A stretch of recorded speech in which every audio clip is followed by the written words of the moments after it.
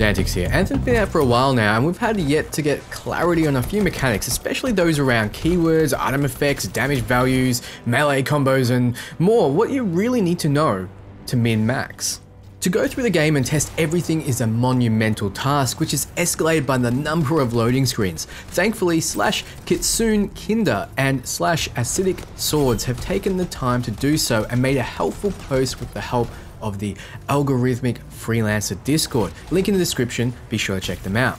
In this video, we're going to run through the aforementioned mechanics and really hammer in what you need to know. A preface though, all values were gotten at pilot level 30. So let's get started. The first tidbit is that there are five damage types, impact, acid, fire, ice, and electric. They sit in one of the two categories, physical and elemental.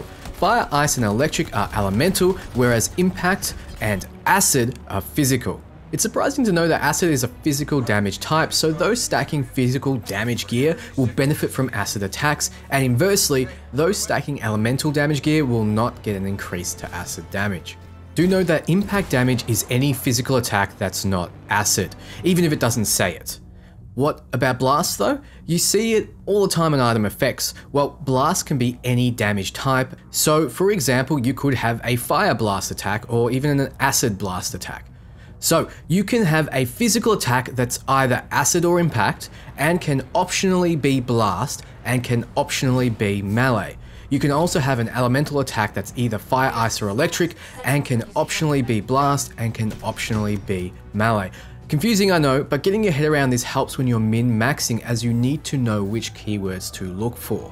Now, let's go through, in more detail, damage types. Starting with electric. I've said in the past that electric damage is great at taking down shields. Well, it does 50% more damage to shields and 50% less to armor. So the Scar Heavies will shrug off your lightning, but scouts will be food.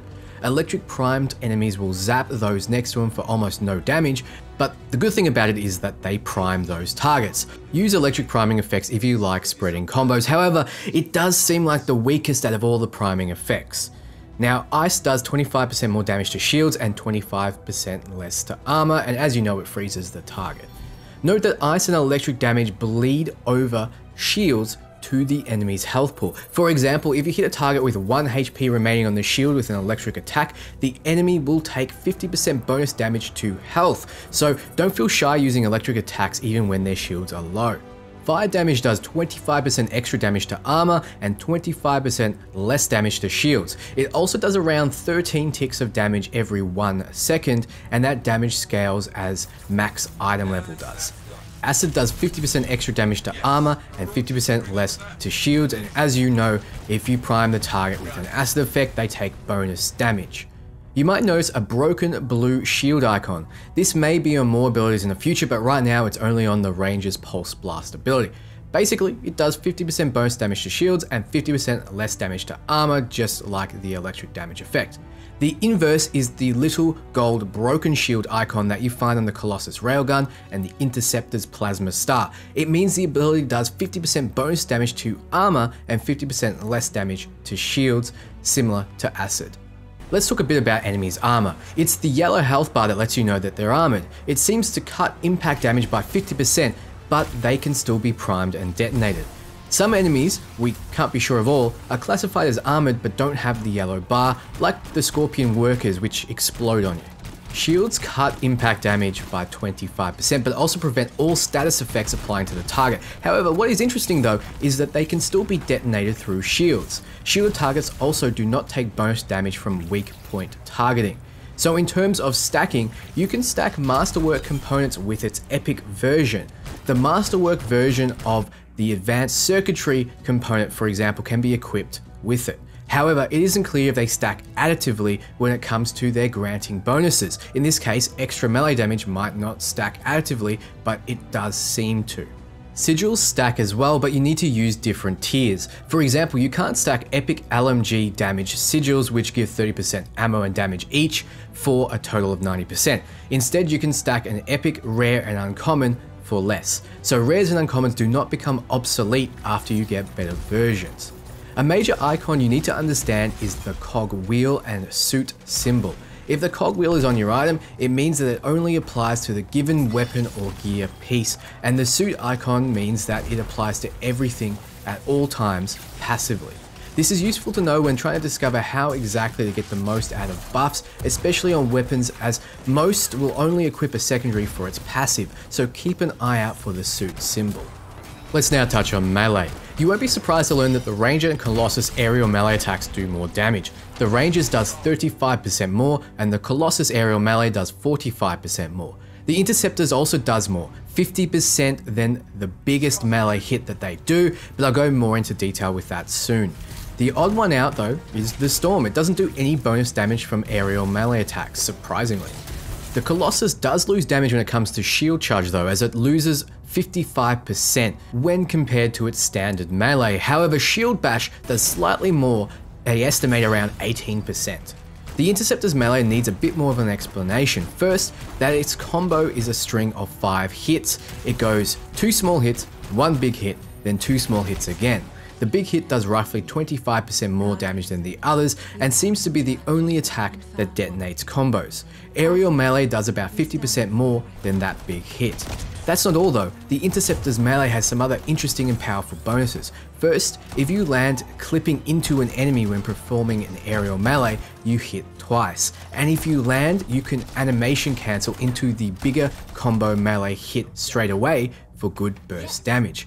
The Interceptor's melee also ignores enemy resistances, such as those granted by enemy armor and enemy shields, as well as going through damage block. Strangely though, while you're in your ultimate form, all melee damage is boosted except for your aerial attacks. Only grounded melee will grant the bonus damage, and this doesn't seem like it was intended, just make sure to stay on your feet. Another tidbit of information is that you should always keep in mind that there are a lot of things that scale to the highest item level that you have equipped. So if you have a legendary at level 47, that will be what certain things scale to. And those things are melee damage, ultimate damage, damage over time effects like fire and electric, masterwork procs, and combo damage. So if you have a power of 10 white items and one power 20 epic, the aforementioned things will be powered up based on your epic item. Now let's touch on combos. We mentioned this before, but combo damage scales with your highest item level. The damage a combo does has nothing to do with the item that got the combo. So if you use Seeking Missiles to get a combo on a prime target, it will do a set amount of damage based on your item level, not based on the Seeking Missile damage. The Ranger does about 8,500 damage when proccing a combo with item level 47. The other three Javelins do about 3,500 on their combos, but do have those extra effects. The Ranger getting more than double the damage for their combos really does push the notion that you should have a Ranger focused around detonating in your squad for those key targets though their testing found that plus combo damage on Ranger and Colossus components give twice as much as are listed. This clearly is not intended, but make use of it while it's not patched out, as other plus combo damage inscriptions give what is listed. In terms of Masterwork items, all Masterwork proc effects that deal damage scale based on the element that they are and the highest equipped item level. So if you have a Masterwork gun that procs electric damage, you can increase it by getting a higher level item and getting plus electric damage.